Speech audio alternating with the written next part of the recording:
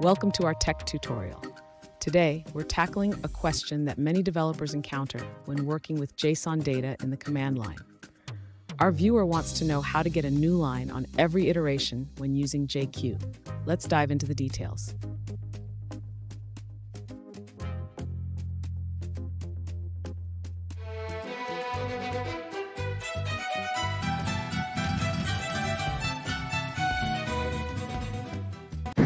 Welcome back to another tech video. Today I'm going to be going through your question, answering it, and hopefully you find the solution.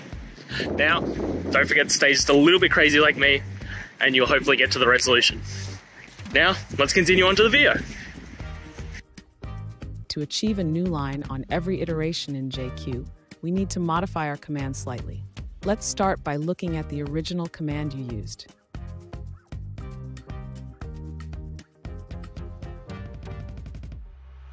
When you run this command in the terminal, it outputs each name on a new line. However, when you assign it to a variable in a shell script, it appears on a single line.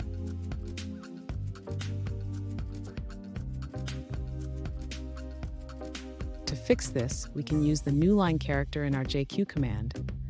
Instead of just extracting the names, we can format the output to include a new line.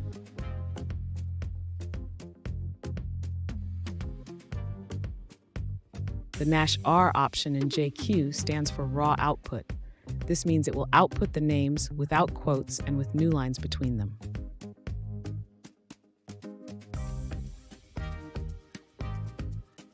Now, if you run your shell script again with this modified command, each name will be displayed on a new line as intended.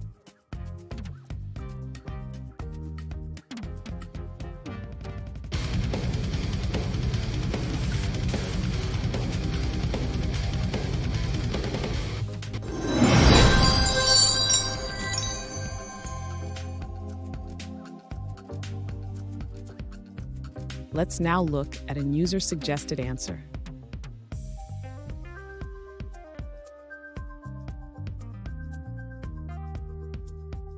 To ensure each JSON value is on a separate line, you can use a robust approach with JQ. This method handles embedded spaces and special characters effectively.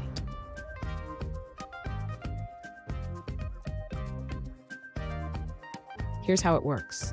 The command extracts the login and ID from the JSON file, then iterates through each pair, printing them in a formatted way.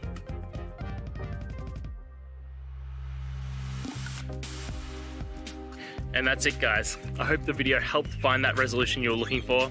And, you know, if it did, please, I appreciate if you could hit subscribe. Until next time, guys, that you need more technical help, I hope you have a good one. Cheers.